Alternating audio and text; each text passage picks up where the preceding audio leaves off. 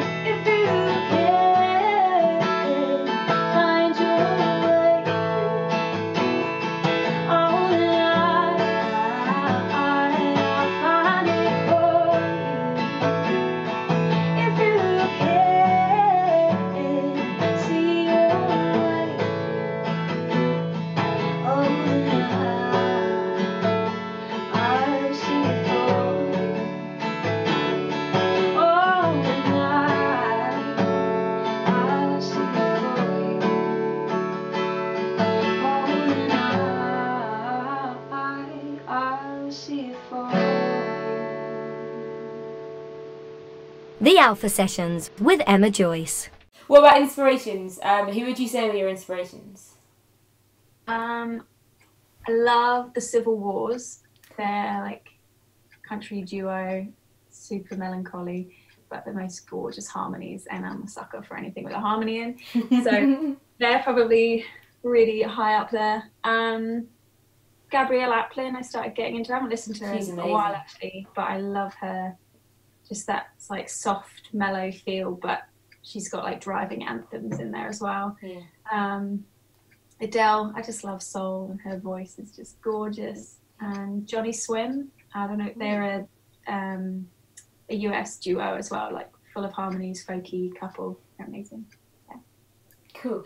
Um, and in terms of like writing music, is there anything in particular that you think inspires you in such a way? So like, um, it, is it more like stories or are they based on more real life experiences?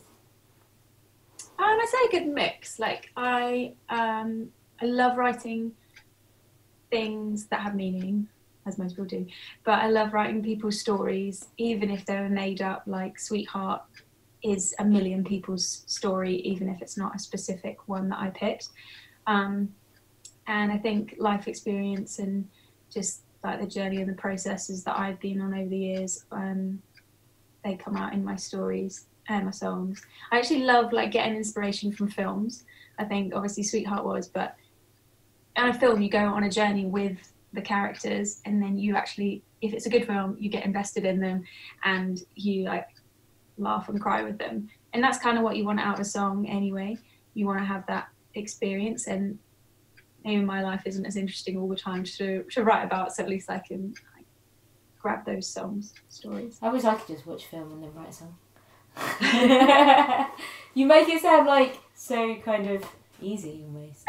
no it's not i think it's when it's if i start crying during the film i'm like ah, yeah, okay I maybe could write something Um, what about lockdown? How have you been spending your time?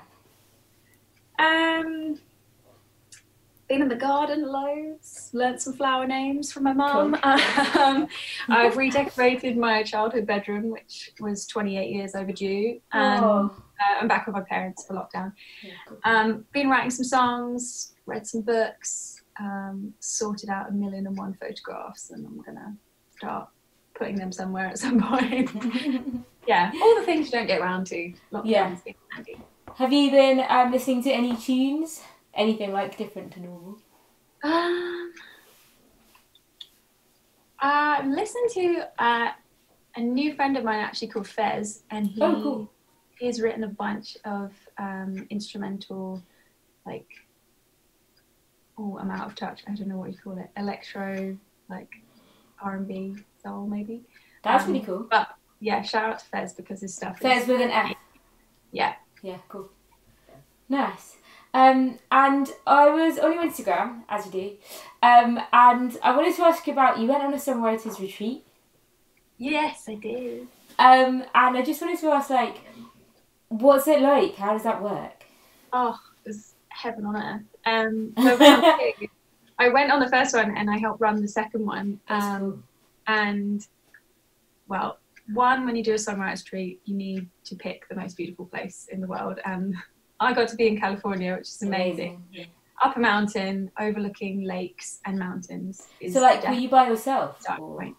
No, it was there was about thirty people participating, and then people were running it. Um, and we all go up for like three days, three nights, um, and like build community together and just have fun, eat really good food together, and then we'd have various teachers um, throughout, like maybe two a day ish. Um, speaking on different things on the songwriting process or the practicals of it and then we would get put into random groups and we had a whole day one day to write and finish and perform a song together Wow. um, and most of the time like you haven't met any of the other people um, and then we did another like activation where they give you one line of a song one one lyric and you have half an hour to um, build as much of a song as you can off it off of like three chords based on I don't know random stuff they throw at you but it's really fun it's amazing what you can do under pressure when you just have to get it out because finishing songs is I think the thing that everyone struggles with That sounds insane. Kind of quite scary, but also quite fun at the same time. yeah i think that's definitely a lot of room for people to like break through insecurity and like just yeah like yeah the insecurity that keeps you frozen when you have to work with other people and you think if i say an idea is it going to be any good? Or that person seems really confident but actually i've got something to say or bring or yeah or being put you know to do lyrics when really i'd prefer to do melody or something like that. Just you you get pulled and grown in different ways. It's really good